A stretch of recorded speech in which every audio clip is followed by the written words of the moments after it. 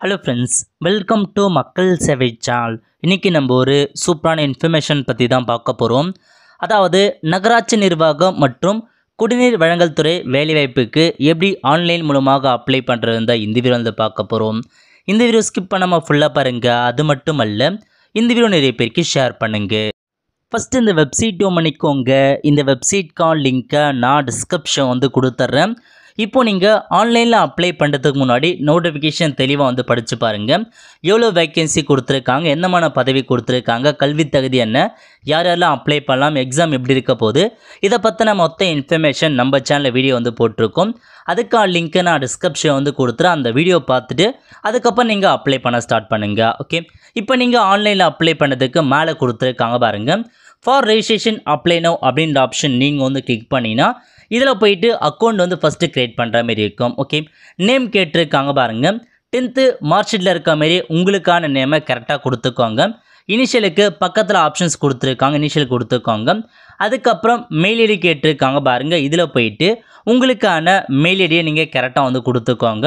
இப்போ நீங்கள் mail ID entry பண்ணி முடிச்சதுக்கப்புறம் பக்கத்தில் வந்து வெரிஃபை இமெயில் அப்படின்ற ஆப்ஷன் நீங்கள் வந்து கிளிக் பண்ணிங்கன்னா எஸ் சென்ட் ஓடிபி அப்படின்ற ஆப்ஷன் நீங்கள் வந்து கிளிக் பண்ணால் போதும். நீங்கள் கொடுத்த மெயில் ஐடிக்கு ஓடிபி வந்து சென்ட் ஆகிட்ருக்கும் ஓடிபி பொறுத்த வரைக்கும் அந்த ஸ்பேம் ஆப்ஷன்லாம் இருக்குது பாருங்கள் அதெல்லாம் செக் பண்ணி பாருங்கள் அதுக்கு தான் ஓடிபி சென்ட் இருக்கும் ஸோ உங்களுக்கு வந்திருக்க ஓடிபி என்ட்ரு பண்ணிவிட்டு வெரிஃபை அப்படின்ற ஆப்ஷன் நீங்கள் வந்து கிளிக் பண்ணால் மெயிலுக்கான ஓடிபி வந்து வெரிஃபை ஆகிடுச்சுன்னு அர்த்தம். ஓகே அதுக்கப்புறம் மொபைல் நம்பர் கேட்டிருக்காங்க. இதில் போயிட்டு உங்களுக்கான மொபைல் நம்பரை கரெக்டாக நீங்கள் வந்து கொடுத்துக்கோங்க. கொடுத்ததுக்கப்புறம் வெரிஃபை மொபைல் அப்படின்ற ஆப்ஷன் நீங்கள் வந்து கிளிக் பண்ணி சென்ட் ஓடிபி கொடுத்தீங்கன்னா நீங்கள் கொடுத்த மொபைல் நம்பருக்கும் ஓடிபி வந்து சென்ட் ஆகிட்டு இருக்கும். ஸோ ஓடிபி என்ட்ரு பண்ணிவிட்டு வெரிஃபை அப்படின்ற ஆப்ஷன் நீங்கள் வந்து கிளிக் பண்ணால் போதும் வெரிஃபை ஆகிடும் அதுக்கப்புறம் கீழே கொடுத்துருக்காங்க பாருங்கள் சப்மிட் அப்படின்ற ஆப்ஷன் நீங்கள் வந்து கிளிக் பண்ணினா இந்த மாதிரி லோட் ஆகிட்டு உங்களுக்கான அக்கௌண்ட் வந்து பார்த்தா கம்ப்ளீட் ஆகிடுச்சு யூசர் ஐடி பாஸ்வேர்டை பொறுத்தவரைக்கும் மெயில் ஐடி மற்றும் மொபைல் நம்பருக்கு அனுப்பியிருப்பாங்க. ஓகே கொடுத்ததுக்கப்புறம் உங்களுக்கான டேஷ்போர்டு ஓப்பன் ஆகிடுச்சு ஓகே இதில் வந்து கண்டினியூ டு அப்ளை அப்படின்ற ஆப்ஷன் நீங்கள் வந்து கிளிக் பண்ணினா போதும். ஸோ மொத்தமாக வந்து பார்த்தா உங்களுக்கு நிறைய ஸ்டெப்ஸ் கொடுத்துருக்காங்க. ஒரு ஒரு ஸ்டெப்ஸாக நீங்கள் வந்து ஃபில் பண்ணுற மாதிரி இருக்குது இப்போ நம்ம ஒன் பை ஒன்னாக வந்து பார்க்கலாம். ஓகே அப்படியே கீழே வந்தால் நெக்ஸ்ட் அப்படின்ற ஆப்ஷன் நீங்கள் வந்து கிளிக் பண்ணால் போதுமானது. ஸோ நோட்டிஃபிகேஷனுக்கான டீட்டெயில்ஸ்லாம் கொடுத்துருப்பாங்க. செக் பண்ணிவிட்டு அப்படியே கீழே வந்ததுக்கப்புறம் டேர்ம்ஸ் அண்ட் கண்டிஷன்ஸ் கொடுத்துருக்காங்க. அதை வந்து செக் பாக்ஸ் டிக் பண்ணிவிட்டு நெக்ஸ்ட் அப்படின்ற ஆப்ஷன் நீங்கள் வந்து கிளிக் பண்ணினா பர்சனல் இன்ஃபர்மேஷன்ஸ் பேஜுக்குள்ளே வருவீங்க. ஓகே இதில் உங்களுக்கு ஜெண்டர் கேட்டிருக்காங்க பாருங்கள் ஸோ நீங்கள் மேல்னால் மேல் கொடுங்க ஃபீமேல்னால் ஃபீமேல் அப்படின்ற ஆப்ஷன் நீங்கள் வந்து சைட் பண்ணுற மாதிரி இருக்கும். ஸோ எஸ் கொடுத்துக்கோங்க. அதுக்கப்புறம் ஏதாச்சும் ஒரு ஐடென்டிக்கான ப்ரூஃப் வந்து கேட்டிருக்காங்க. Aadhaar card PAN card driving licence voter ID ஏதாச்சும் ஒரு டாக்குமெண்ட்ஸை நீங்கள் வந்து சைட் பண்ணிக்கோங்க. சைட் பண்ணிட்டு அதுக்கான நம்பரை நீங்கள் வந்து கொடுக்குற மாதிரி இருக்கும். ஆதார் கார்டுன்னு ஆதார் கார்டு கொடுத்துட்டு அது கீழே டுவெல் டிஜிட் ஆதார் கார்டு நம்பரை என்ட்ரு பண்ணிக்கோங்க. இதுவே பேன் கார்டுனா பேன் கார்டு சைட் பண்ணி அதுக்கான நம்பரை கொடுக்குற மாதிரி இருக்கும். ஏதாச்சும் ஒரு டாக்குமெண்ட்டை நீங்கள் கொடுத்து அதுக்கான நம்பரை என்ட்ரு பண்ணிக்கோங்க. Okay next date of birth வந்து கேட்டிருக்காங்க. டென்த்து மார்க்ஷீட்டில் இருக்க மாரி. உங்களுக்கான டேட் ஆஃப் பர்த்தை கரெக்டாக நீங்கள் வந்து கொடுத்துக்கோங்க. மிஸ்டேக் இல்லாமல் ஸோ டென்த்து மார்க்ஷீட் எப்படி இருக்கோ? எக்ஸாக்டாக அதேமாரி உங்களுக்கான டேட் ஆஃப் பர்த்தை கரெக்டாக நீங்கள் வந்து கொடுத்துக்கோங்க. Okay so date of birth entry பண்ணி முடிச்சதுக்கப்புறம் இந்த மாதிரி எஸ் கேட்கும் நீங்கள் எஸ் கொடுத்ததுக்கப்புறம் கன்ஃபார்ம் டேட் ஆஃப் பர்த் அதுக்கப்புறம் என்ன கேட்டிருக்காங்கன்னா ஃபாதர் நேம் கேட்டிருக்காங்க பாருங்கள் இதில் போயிட்டு உங்கள் ஃபாதர் நேம் வந்து கொடுத்துக்கோங்க. இனிஷியலில் போயிட்டு ஃபாதருக்கான இனிஷியலை மென்ஷன் பண்ணிக்கோங்க. அதுக்கப்புறம் மதர் நேம் கேட்டிருக்காங்க. இதில் போயிட்டு மதர் நேம் என்ட்ரு பண்ணிட்டு இனிஷியலில் மதர்கான் இனிஷியல் வந்து கொடுத்துக்கோங்க. நெக்ஸ்ட்டு நேஷ்னாலிட்டி கேட்டிருக்காங்க. இந்தியனை வந்து சைட் பண்ணிக்கலாம். அதுக்கப்புறம் நேட்டிவ் டிஸ்ட்ரிக் பொறுத்த வரைக்கும் இதில் போயிட்டு உங்கள் டிஸ்ட்ரிக் எதுவோ அந்த டிஸ்ட்ரிக்கை நீங்கள் அப்படியே பார்த்து கரெக்டாக நீங்கள் வந்து சைட் பண்ணிக்கோங்க உங்கள் டிஸ்ட்ரிக் நேமை ஓகே ஸோ நெக்ஸ்ட் அதுக்கப்புறம் கீழே வந்தீங்கன்னா ரிலீஜன் கேட்டிருக்காங்க பாருங்கள் நீங்கள் ஹிந்துவா முஸ்லீமா கிறிஸ்டின்ற மாரி உங்களுக்கான மதத்தை நீங்கள் கரெக்டாக வந்து சைட் பண்ணிக்கோங்க. சைட் பண்ணி முடிச்சதுக்கப்புறம் மதர் டங் கேட்டிருக்காங்க மதர் டங் தமிழ்னா தமிழ் அப்படின்னு நீங்கள் டைப் பண்ணிக்கோங்க வேறு லாங்குவேஜ்னா வேறு லாங்குவேஜ் என்னன்றதை டைப் பண்ணிக்கோங்க. மெரிட்டல் ஸ்டேட்டஸ் கேட்டிருக்காங்க சிங்கிளாக மேரிடா அன்மேடான்றத நீங்கள் கரெக்டாக வந்து கொடுத்துக்கலாம். அதுக்கப்புறம் கமிட்டி கேட்டிருக்காங்க. நீங்கள் எந்த கமிட்டியை சார்ந்தவங்க? எஸ்சியா எஸ்டியா பிசியா எம்பிசியா டிஎன்சின்ற மாரி உங்களுக்கான கமிட்டி எதுவும் அதை நீங்கள் வந்து சைட் பண்ணால் போதுமானது. அதுக்கப்புறம் கம்யூனிட்டி சம்மந்தப்பட்ட எல்லா இன்ஃபர்மேஷன் நீங்கள் சைட் பண்ணுற மாதிரி இருக்கும். எஸ் கொடுத்துக்கோங்க. எஸ் கொடுத்ததுக்கப்புறம் கீழே கேட்டிருக்காங்க. தமிழ்நாடு அரசால் வழங்கப்பட்ட ஜாதி சர்டிஃபிகேட் இருக்கான்னு கேட்டிருக்காங்க. இதுக்கு நீங்கள் எஸ் அப்படின்ற ஆப்ஷன் நீங்கள் வந்து கிளிக் பண்ணிக்கோங்க. கிளிக் பண்ணி முடிச்சதுக்கப்புறம் சப்காஸ்ட் கேட்டிருக்காங்க பாருங்கள் உங்களுக்கான சப்காஸ்ட் என்னன்றத இதில் எல்லா கேஸ்ட்டையும் வந்து ஷோ ஆகும். ஸோ உங்கள் கம்யூனிட்டி என்ன உங்கள் கேஸ்ட் என்ன அப்படின்றத நீங்கள் கரெக்டாக வந்து பார்த்து ஜாதி சிலை மாதிரி கரெக்டாக பார்த்து அதுக்கேற்ற மாதிரி நீங்கள் கொடுத்துக்கோங்க. மிஸ்டேக் இல்லாத. நெக்ஸ்ட் என்ன கேட்டிருக்காங்கன்னா ஜாப் யார் வந்து கொடுத்தாங்க? தாஸ்தாரா டெப்டி தாசர்ன மாரி யார் கொடுத்தாங்களோ அவங்களுடைய நிதம் நீங்கள் வந்து செட் பண்ணிக்கோங்க. எல்லாமே இன்ஃபர்மேஷன் ஜாப் கொடுத்துருப்பாங்க. அதுக்கப்புறம் உங்களுக்கான ஜாதி சர்டிஃபிகேட் எந்த தேதியில் கொடுத்துருக்காங்க அப்படின்னு கேட்டிருப்பாங்க. எந்த தேதியில் இஷ்யூ பண்ணியிருக்காங்க அந்த தேதியை கொடுத்துக்கோங்க நெக்ஸ்ட்டு ஜாதி சர்டிஃபிகேட்கான நம்பர் கேட்டிருக்காங்க. இதில் போயிட்டு உங்கள் ஜாதி சர்டிஃபிகேட் நம்பர் அப்படியே பார்த்து டைப் பண்ணிக்கோங்க. ஓகே அதுக்கப்புறம் டேர்ம்ஸ் அண்ட் கண்டிஷன்ஸ் கொடுத்துருக்காங்க. அந்த செக் பாக்ஸ் டிக் பண்ணிவிட்டு நெக்ஸ்ட் அப்படின்ற ஆப்ஷன் நீங்கள் வந்து கிளிக் பண்ணினா போதும். அதுக்கப்புறம் நீங்கள் அட்ரஸ் வந்து ஃபில் பண்ணுற மாதிரி இருக்கும். ஃபஸ்ட்டு வந்து கம்யூனிகேஷன் அட்ரஸ் கேட்டிருக்காங்க. இதில் போயிட்டு உங்கள் door number street name village name எல்லாமே நீங்கள் வந்து டைப் பண்ணிக்கோங்க. ஃபுல் அட்ரஸை கொடுத்துக்கோங்க. அதுக்கு கீழே சிட்டி மற்றும் வில்லேஜ் நேம் கேட்டிருக்காங்க பாருங்கள் இதில் போயிட்டு உங்களுக்கான சிட்டி நேம் மற்றும் வில்லேஜ் நேமை நீங்கள் மென்ஷன் பண்ணிக்கோங்க. ஸோ மேலே வந்து பார்த்தா உங்களுக்கான டோர் நம்பர் ஷீட் நேம் கொடுத்துட்டு கீழே வில்லேஜ் நேம் என்ட்ரு பண்ணிக்கோங்க. அதுக்கப்புறம் டிஸ்ட்ரிக் கேட்டிருக்காங்க. அகைன் உங்களுக்கான டிஸ்ட்ரிக்கை நீங்கள் வந்து சைட் பண்ணுற மாதிரி இருக்கும். உங்களுடைய கம்யூனிகேஷனுடைய டிஸ்ட்ரிக்கை நீங்கள் வந்து கொடுத்துக்கோங்க. கொடுத்ததுக்கப்புறம் ஸ்டேட் கேட்டிருக்காங்க. தமிழ்நாடு அப்படின்ற ஆப்ஷன் சைட் பண்ணிக்கலாம் நெக்ஸ்ட்டு பின்கோடு கேட்டிருக்காங்க. உங்கள் ஊரோட பின்கோடு கொடுத்துக்கோங்க. ஓகே கொடுத்ததுக்கப்புறம் கம்யூனிகேஷன் அட்ரஸும் பர்மனட் அட்ரஸும் ஒன்றா தான் மேலே கொடுத்துருக்காங்க பாருங்கள் சேமஸ் கம்யூனிகேஷன் அட்ரஸ் அந்த செக் பாக்ஸை கிளிக் பண்ணிங்கன்னா ஆட்டோமேட்டிக்காக உங்களுக்கான அட்ரஸ் வந்து காப்பி ஆகிடும் ஓகே அதுக்கப்புறம் அப்புறம் கீழே வந்து டேர்ம்ஸ் அண்ட் கண்டிஷன் கிளிக் பண்ணிவிட்டு நெக்ஸ்ட் அப்படின்ற ஆப்ஷன் நீங்கள் வந்து கிளிக் பண்ணினா போதுமானது. அதுக்கப்புறம் நீங்கள் டிஃப்ரெண்ட் ஏபிள் பர்சனான்னு கேட்டிருக்காங்க. நீங்கள் மாற்றுத்திறனாளி இருந்தால் எஸ் கொடுத்து அதுக்கான இன்ஃபர்மேஷன்ஸ் எல்லாமே நீங்கள் வந்து ஃபில் பண்ணிக்கோங்க. மாற்றுத்திறனாளி இல்லைனா நீங்கள் சிம்பிளாக நோ அப்படின்ற ஆப்ஷன் நீங்கள் வந்து கிளிக் பண்ணிக்கலாம். ஓகே அதுக்கப்புறம் மாற்றுத்திறனாளிகளுக்கு மட்டும் தமிழ் மொழி கட்டாய தகுதின்னு அதுலேருந்து விலக்கு அளிக்கிறாங்க. நீங்கள் ஒரு மாற்றுத்திறனாளியாக இருந்து எனக்கு அந்த தமிழ் எக்ஸாம் வேணுன்றவங்க மட்டும் எஸ் கொடுத்துக்கோங்க. நீங்கள் மாற்றுத்திறனாளி இல்லை நீங்கள் சிம்பிளாக நோ வந்து செட் பண்ணிக்கலாம். தமிழ் எக்ஸாம் வேணுன்றவங்க நீங்கள் நோ கொடுத்துக்கோங்க. ஓகே அதுக்கப்புறம் நீங்கள் எக்ஸ் சர்வீஸ்மேன் தான் எஸ் கொடுத்துக்கோங்க. இல்லை நீங்கள் நோ அப்படின்ற ஆப்ஷன் நீங்கள் வந்து கிளிக் பண்ணிவிட்டு டேர்ம்ஸ் அண்ட் கண்டிஷன்ஸ் கொடுத்துருக்காங்க. டிக் பண்ணிட்டு சப்மிட் கொடுத்தீங்கன்னா போதும்.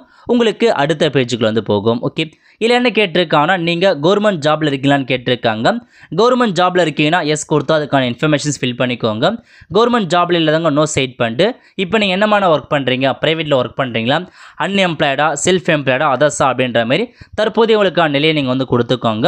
நெக்ஸ்ட் என்ன கேட்டிருக்காங்கன்னா நீங்கள் வந்து கவர்மெண்ட் எம்ப்ளாயாக இருந்து உங்களை வந்து பார்த்தா ரிசர்னேஷன் பண்ணியிருக்காங்க ரிமூவ் பண்ணியிருக்காங்கன்றா இதுக்கு நீங்கள் எஸ் கொடுத்துக்கோங்க. இல்லாதவங்க நீங்கள் சிம்பிளாக நோ சைட் பண்ணிட்டு டேர்ம்ஸ் அண்ட் கண்டிஷன் கிளிக் பண்ணிவிட்டு சப்மிட் அப்படின்ற ஆப்ஷன் நீங்கள் வந்து கிளிக் பண்ணால் போதும். அதுக்கடுத்து எஜுகேஷன் குவாலிஃபிகேஷன் பேஜுக்குள்ளே போவீங்க. ஓகே ஸோ இதுக்கு கண்டிப்பாக நீங்கள் யூஜி டிகிரி முடிச்சிருந்தா மட்டும் தான் அப்ளை பண்ணணும். ஸோ டென்த்து கொடுத்துக்கோங்க டுவெல்த்து சைட் பண்ணிக்கோங்க. டிப்ளமோ முடித்தவங்க டிப்ளமோ கிளிக் பண்ணிக்கோங்க. டிப்ளமோ முடிக்காதவங்க யூஜி முடிச்சிருங்க யூஜி செட் பண்ணிக்கோங்க. உங்களுடைய ஐஎஸ் கல்வி தகுதி எதுவோ அது வரைக்கும் நீங்கள் வந்து கொடுத்துக்கோங்க. பிஜி முடிச்சவங்க. பிஜி வரைக்கும் நீங்கள் ஒன் பை ஒன் வந்து டிக் பண்ணிட்டு ஒவ்வொரு குவாலிஃபிகேஷனை ஆட் பண்ணுற மாதிரி இருக்கும். ஓகே ஸோ ஃபஸ்ட்டு டென்த்து கேட்டிருக்காங்க. டென்த்துக்கான மார்க் ஷீட் நம்பரை நீங்கள் அப்படியே பார்த்து டைப் பண்ணிக்கோங்க. மோட் ஆஃப் ஸ்டடி ரெகுலர் அப்படின்ற ஆப்ஷன் நீங்கள் வந்து கிளிக் பண்ணிக்கோங்க. ப்ரைவேட் கேண்டிடேட் படித்தவங்க ப்ரைவேட் கொடுத்துக்கலாம். அதுக்கப்புறம் ஸ்கூல் நேம் கேட்டிருக்காங்க. பாருங்கள் நீங்கள் டென்த் எந்த ஸ்கூலில் படிச்சீங்களோ அதுக்கான ஸ்கூல் நேமை கரெக்டாக நீங்கள் மென்ஷன் பண்ணிக்கோங்க. அதுக்கப்புறம் போர்டு கேட்டிருக்காங்க. டென்த்து வந்து எந்த போர்டில் படிச்சீங்க? ஸ்டேட் போர்டுனா ஸ்டேட் போர்டு கொடுங்க. தமிழ்நாடு ஸ்டேட் போர்டு மெட்ரிகுலேஷனாக மெட்ரிகுலேஷன் கொடுங்க. சிபிஎஸ்னா சிபிஎஸ்சி ஃபில் பண்ணுற மாதிரி இருக்கும். ஸோ டென்த்து படித்ததுக்கான போர்டை கொடுத்துக்கோங்க. அதுக்கப்புறம் நீங்கள் தமிழ் டென்த்தில் வந்து தமிழ் ஒரு பாடமாக படிச்சிருந்தா எஸ் அப்படின்ற ஆப்ஷன் நீங்கள் வந்து கிளிக் பண்ணிக்கோங்க. நெக்ஸ்ட் என்ன கேட்டிருக்காங்கன்னா மந்த்து மற்றும் இயர் ஆஃப் பாசிங் கேட்டிருக்காங்க.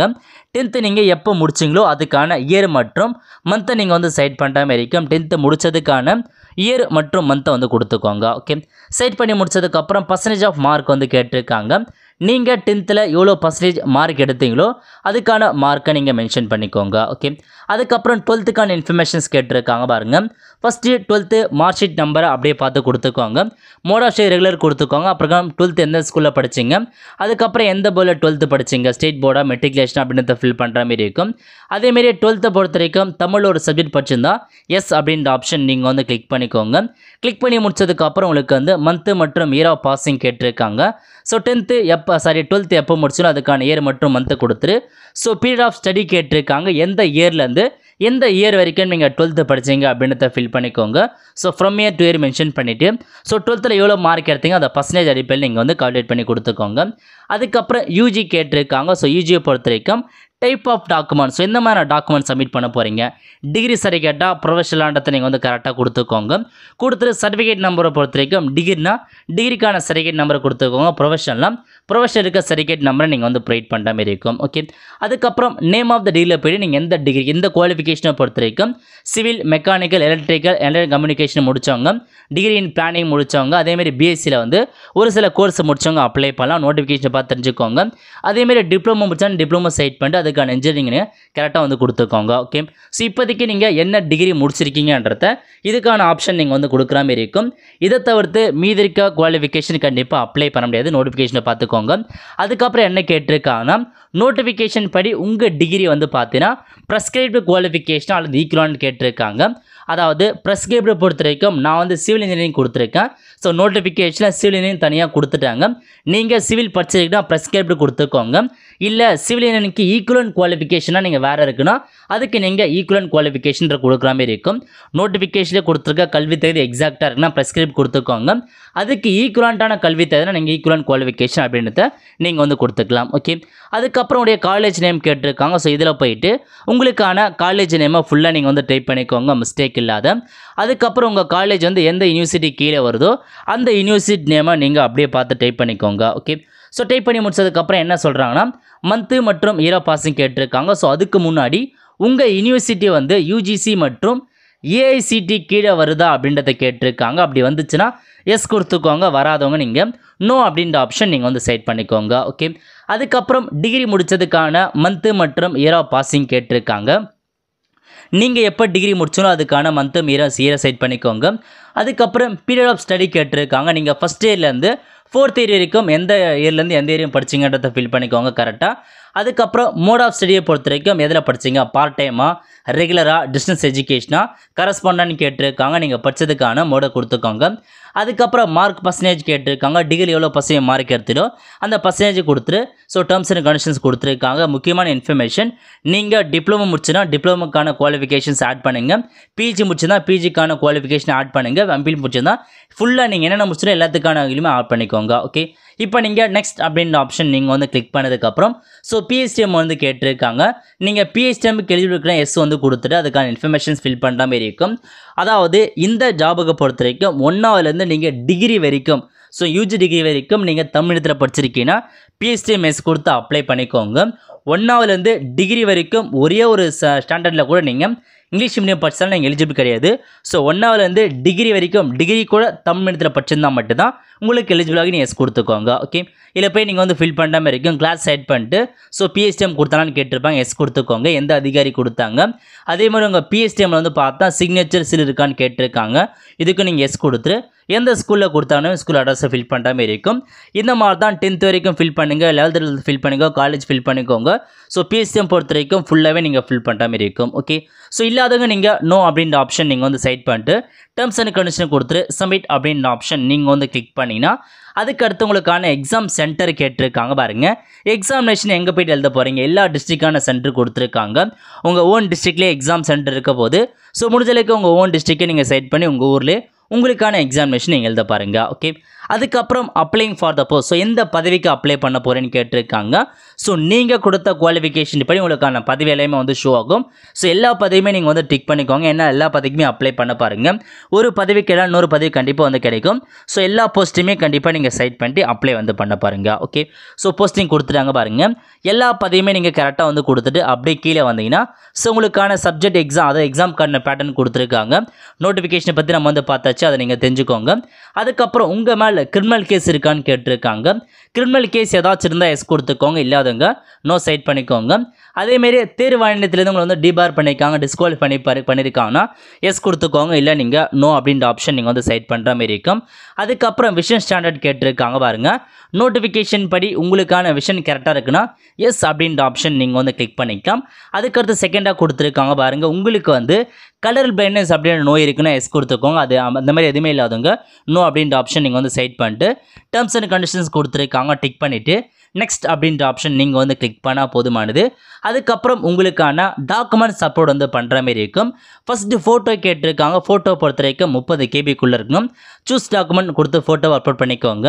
நெக்ஸ்ட்டு சிக்னேச்சரை கேட்டிருக்காங்க. சிக்னேச்சரை பொறுத்த வரைக்கும் முப்பது கேபிக்குள்ளே சிக்னேச்சர் அப்லோட் பண்ணிக்கோங்க. அதுக்கப்புறம் நீங்கள் நேம் சேஞ்ச் பண்ணிருக்கீங்கன்னா அதுக்கான கசட் காப்பி அப்லோட் பண்ணுங்கள் அதுமாரி இதுமாரிலாம் நீங்கள் அந்த டாக்குமெண்ட்ஸை ஸ்கிப் பண்ணிக்கலாம். நெக்ஸ்ட்டு டாக்குமெண்ட்ஸ் கேட்டிருக்காங்க. பாருங்கள் நீங்கள் ஆன்லைனில் அப்ளை பண்ண சொல்ல ஒரு டாக்குமெண்ட்ஸ் கொடுத்துருப்பீங்க. அந்த பேன் கார்டுனா பேன் கார்டு ஆதார் கார்டுனா ஆதார் கார்டு அதுக்கான டாக்குமெண்ட்ஸ் அப்லோட் பண்ணுற மாதிரி இருக்கும். அதுக்கப்புறம் ஜாதி சர்டிஃபிகேட் கேட்டிருக்காங்க. இரநூத்தம்பது கேபிக்குள்ளே பிடிஎஃப்ல அப்லோட் பண்ணுற மாதிரி இருக்கும். நெக்ஸ்ட்டு டென்த்து மார்க் ஷீட் கேட்டிருக்காங்க. அதுக்கப்புறம் டுவெல்த்து மார்க் ஷீட் கேட்டிருக்காங்க. யூஜிக்கான டிகிரி அல்லது ப்ரொஃபஷனல் சர்டிஃபிகேட் கேட்டிருக்காங்க. அப்புறம் யூஜிக்கான கன்சால்டேட் மார்க் ஷீட் இருக்க பாருங்கள் ஓவரால் மார்க் ஷீட் அதை அப்லோட் பண்ணுற மாதிரி இருக்கும். அதுக்கப்புறம் அதர் டாக்குமெண்ட் கேட்டிருக்கோம். அதெல்லாம் நீங்கள் வந்து அப்லோட் பண்ண அவசியமே என்ன கிடையாது. ஸோ கேட்டிருக்க மட்டும் தெளிவாக நீங்கள் எட்டு டாக்குமெண்ட்ஸ் சப்போர்ட் பண்ணுங்க இப்போ நீங்கள் சூஸ் டாக்குமெண்ட் கொடுத்து ஃபோட்டோ அப்லோட் பண்ணதுக்கப்புறம் ஸோ கிளிக் டு அப்லோட் அப்படின்ற ஆப்ஷன் நீங்கள் வந்து கிளிக் பண்ணால் மட்டும்தான் உங்களுக்கான டாக்குமெண்ட்ஸ் அப்லோட் வந்து ஆகும். ஓகே எல்லாமே அப்லோட் பண்ணிட்டு டேர்ம்ஸ் அண்ட் கண்டிஷன் கொடுத்துட்டு நெக்ஸ்ட் அப்படின்ற ஆப்ஷன் நீங்கள் வந்து கிளிக் பண்ணினா உங்களுக்கான ப்ரிவியூ பேஜ் வந்து ஓப்பன் ஆகிடுச்சு இதில் போயிட்டு நீங்கள் வந்து பார்த்தா ஏதாச்சும் மிஸ்டேக் பண்ணிங்களா நீங்கள் செக் பண்ணிக்கோங்க. நீங்கள் என்ட்ரு பண்ண எல்லா இன்ஃபர்மேஷன்ஸும் ஓப்பன் ஆகும். ஏதாச்சும் மிஸ்டேக் இருந்தால் இப்போ நீங்கள் எடிட் பண்ணிக்கலாம். அது மட்டும் இல்லாமல் உங்களுக்கான ஒரு சில டிக்ளேஷன்ஸ் கொடுத்துருக்காங்க பாருங்க. கிட்டத்தட்ட ஒரு பதினாறு பாயிண்ட் ஒன்பது பத்துக்கு மேலே பாயிண்ட் கொடுத்துருக்காங்க. எல்லாத்தையுமே நீங்கள் படித்து பார்த்து எல்லாத்தையுமே நீங்கள் வந்து பார்த்தா டிக் மார்க் வந்து பண்ணுற மாதிரி இருக்கும். ஸோ கண்டிப்பாக நீங்கள் டிக் மார்க் பண்ணால் மட்டும்தான் அடுத்து அதுக்கு அடுத்த பேஜுக்கு வந்து போகும்.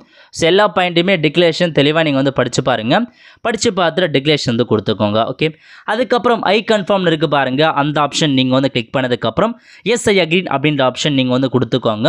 கொடுத்து I agree to final submission அப்படின்ற ஆப்ஷன் நீங்கள் வந்து கிளிக் பண்ணிங்கன்னா ஸோ திரும்ப உங்களுக்கான ஃபைனல் ப்ரிவியூ வந்து ஓப்பன் ஆகும். இதுலேயும் எல்லா இன்ஃபர்மேஷன் கரெக்டாக செக் பண்ணி பார்த்துக்கோங்க. இதுக்கப்புறம் எடிட் பண்ணுறது கஷ்டமானது ஸோ செக் பண்ணி பார்த்துட்டு அகைன் அப்படியே கீழே வந்து ஒரு டேர்ம்ஸ் அண்ட் கண்டிஷன்ஸ் கொடுத்துருக்காங்க.